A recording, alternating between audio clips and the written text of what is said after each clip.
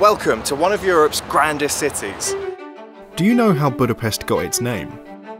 The city as it exists now is pretty young as cities go.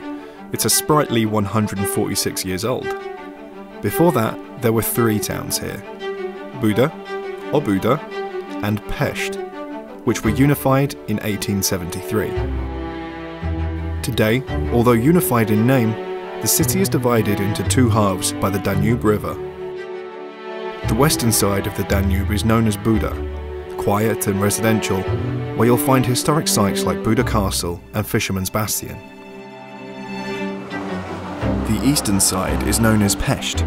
It's lively and modern, the hub of Budapest's economy and culture, home to the Hungarian parliament, some of Budapest's most famous thermal baths, ruin bars, and everything in between. I'm here to explore where the boundaries truly lie in this beautiful city. Budapest is unified in name but divided in nature. The east, the west, the Buda, the Pest, two distinct identities on opposite banks of the Danube. Wood crossing the river really make the city feel so different. And which side of the river would get me under the skin of the real, authentic Budapest? We explore the hills of Buda and the streets of Pest. We meet local people, visit amazing places, try Hungarian food, and a bit of Hungarian alcohol. We sample the weird and wonderful nightlife. We soak ourselves in the city and get to the heart of Budapest. I came here expecting to find a city divided, but what I found was so much greater and so much grander than just two parts of a whole.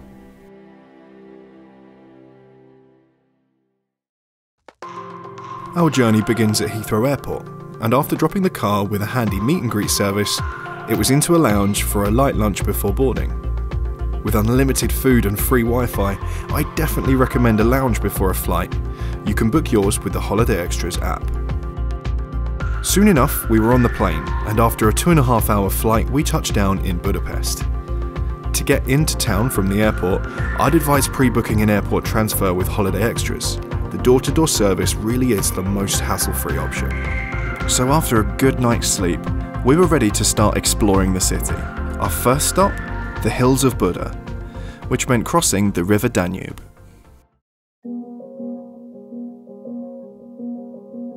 Széchenyi Chain Bridge is to Budapest what Tower Bridge is to London, or Brooklyn Bridge is to New York. It's still a major crossing for the city, but it's also an iconic public landmark and a popular item on the tourist checklist. Designed by Englishman William Tierney Clark, it opened in 1849 and was the first permanent bridge across the Danube in all of Hungary. In World War II, it was destroyed by retreating German forces during the Siege of Budapest, and only the towers remained. However, it was rebuilt and opened again in 1949, exactly 100 years after its inauguration.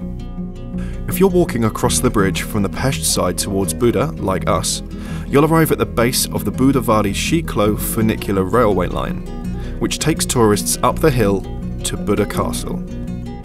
You can purchase tickets at the station, but be warned, in peak summer season, the queue can stretch back quite a way, and there's no shade to speak of, so don't forget your sunscreen. Cable cars depart every 10 minutes and take just a few minutes to reach the top. So, we've just taken the funicular up from the Széchenyi chain bridge up to the castle, which is great because it's boiling hot and it means that we didn't have to walk it, but we also get to enjoy the view from up here as well.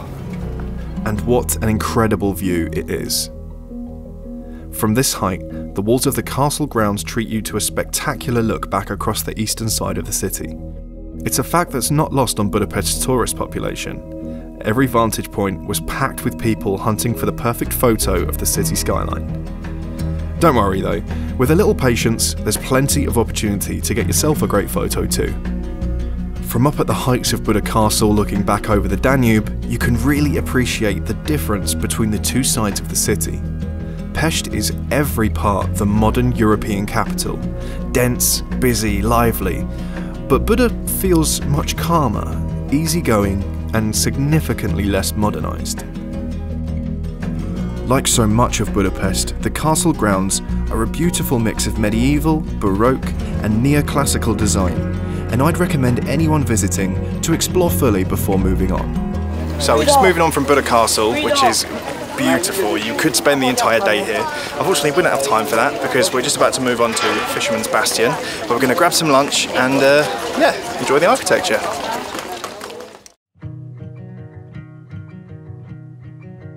Fisherman's Bastion is one of the finest examples of the grandeur that Budapest does so well. Built around the Roman Catholic Matthias Church, the Bastion is a neo Gothic terrace that gives you more great views back across the river. And it's only oh, five, ten minutes walk away from Buda Castle, so you can do them both in the same day. So, why the Fisherman's Bastion? Well, it looks directly over an area called Víziváros, or Watertown. In medieval times, this was where the city's fishermen lived. And then, when the bastion was complete, it was placed under the protection of the Fishermen's Guild. The bastion was built with views in mind, and it never actually got used as a defensive structure. It might look hundreds of years old, but it was only completed in 1902.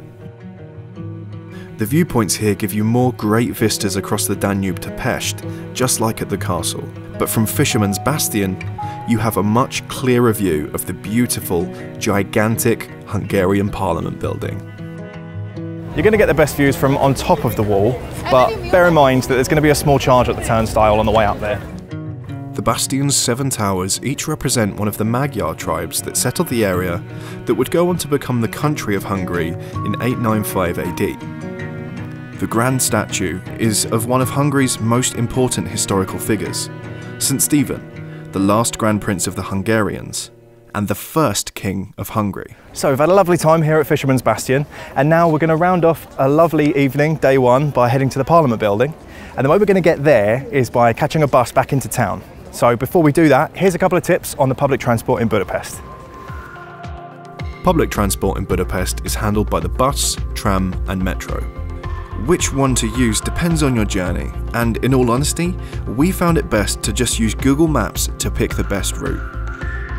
In general, the tram was good for short hops across town, whereas the metro and bus were quicker for longer journeys.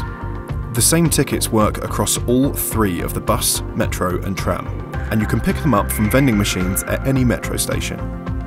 My recommendation is to pick up a cost effective book of 10 singles at the start of your time in Budapest, and then use them as you need them. Make sure you validate your ticket before taking any form of public transport in Budapest, as if you get caught with an unvalidated ticket, then you will be fined. Tickets are validated using machines on board buses and trams and at the entrance to metro stations. Remember, each ticket is valid for a single one way journey only. If you transfer, you'll need to validate a new ticket. And while we're talking about buying tickets, a word on money in Budapest. Although it's part of the EU, Hungary doesn't use the euro. The currency here is the Hungarian forint, and prices are generally much lower than they are in London. For example, a pint of local beer will cost you around £1.30. Most places accept card, but it's always good to have a bit of cash too. To get your travel money, head over to the Holiday Extras website or check out the app. Our journey from Fisherman's Bastion didn't take long. When we arrived at the Hungarian Parliament building, I was in awe. It was one thing to see this fantastic building as part of the cityscape from the other side of the river, but getting up close was an entirely different experience. This is the largest building in Hungary and the tallest in Budapest. It's said that the sheer surface area and endless, intricate, detailed handiwork means that the building is under constant renovation to sustain its beauty. It was inaugurated on the 1000th anniversary of the country in 1896, but tragically, Imre Steindl, the architect, went blind before the building was finished in 1904 and never saw it completed. Basking in the scale and detail of the building was breathtaking, and the cherry on the cake? The weather was so hot when we visited, the water was being misted up from the ground to help visitors cool down. Just what I needed after a long day's exploring.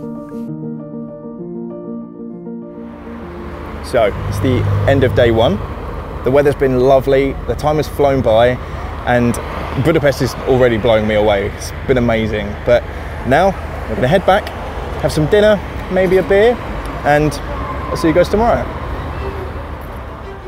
So, having explored Buda and seen some of the city's most breathtaking architecture, I was ready to dig deeper into the modern day character of the city. Coming up in day two, I take a dip in the Széchenyi public baths and experience Budapest's vibrant nightlife. But before all that, we'd arranged to meet Nora from BudapestFoodTours.com to explore some of Hungary's most iconic dishes and the best places in Budapest to find them. Now, we'd hate to spoil the tour by showing you everything, but Nora took us to some amazing places rich in history we tried some of Hungary's national beverages, Unicum and Palinka, in Grinzingi Borozo, a traditional wine bar in the centre of Pest. And what trip to Hungary would be complete without sampling goulash, which we tasted in the beautiful Central Cafe, where Budapest's intellectual class used to catch up and share ideas. One of the most interesting spots on the tour was a shop a little off the beaten path, where we tried one of Hungary's favourite treats. So what you have there is called Túró Rudi. Uh, turo means mm -hmm. this kind of cottage cheese. It's okay. not exactly like your cottage cheese. Yeah. It's somewhere between ricotta and cottage cheese. Okay. It's sweetened. It has a little bit of orange flavor and chocolate outside. Yeah.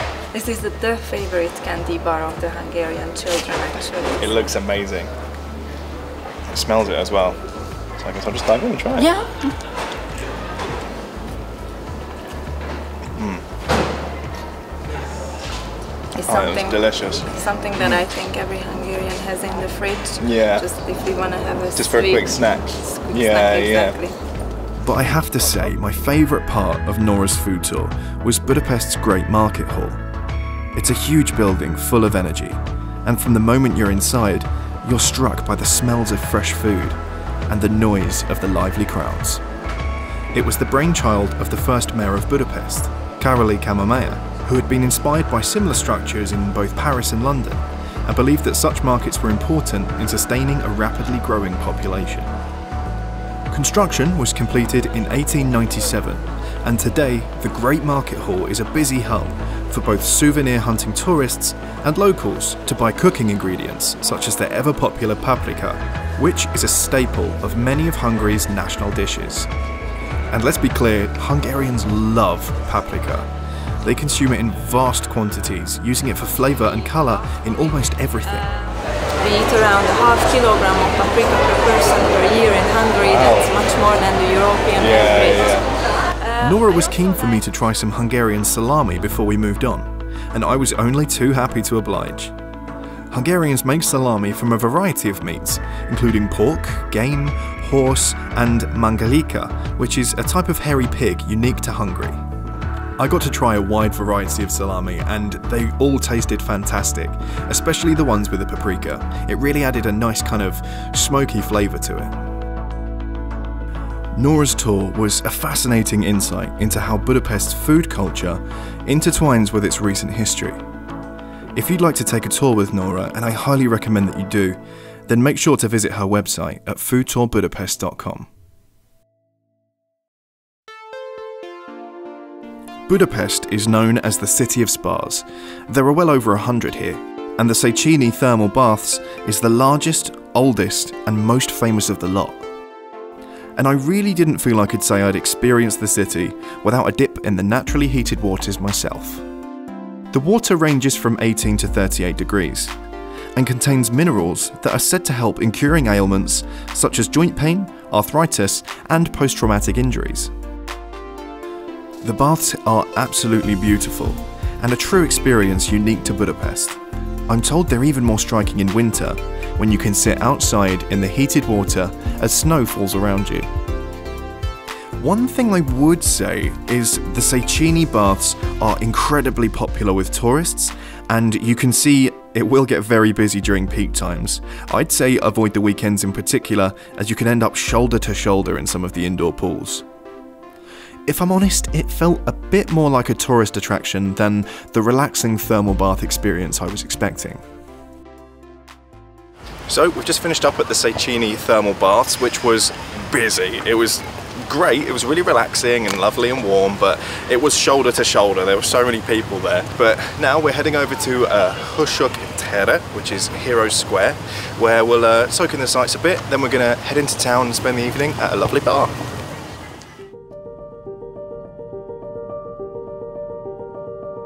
Five to ten minutes walk from the baths through the beautiful city park is Hősök tere, or Heroes Square. The square serves as a memorial, including the seven Magyar tribe leaders, St. Stephen, the first king of Hungary, and finally the giant Millennium Monument, built to commemorate the thousand year anniversary of Hungary. These days, the square hosts large public events, serves as a meeting spot for locals, and, of course, yet another item on the tourist trail. As evening drew in, we headed for the final stop of our time in Budapest.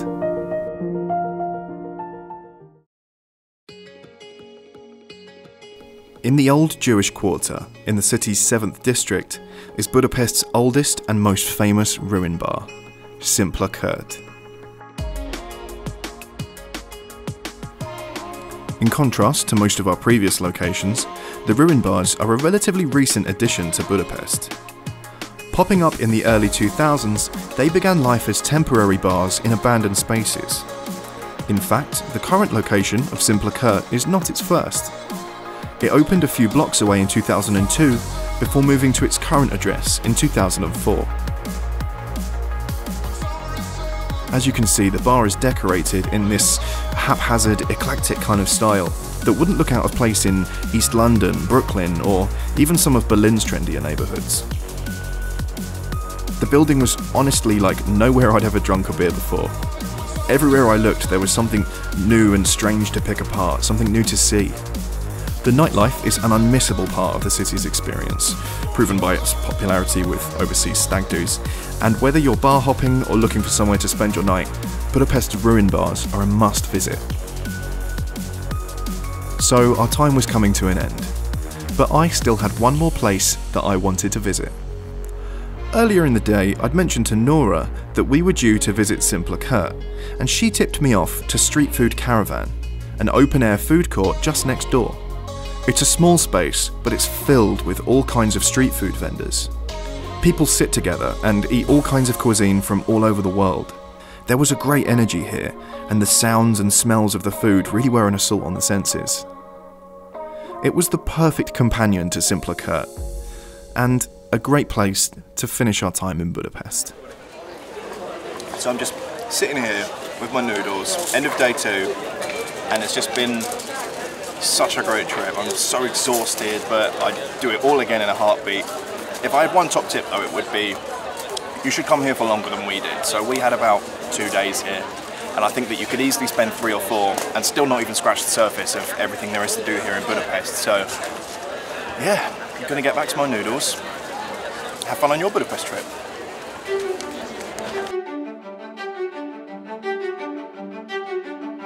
Have you visited Budapest before?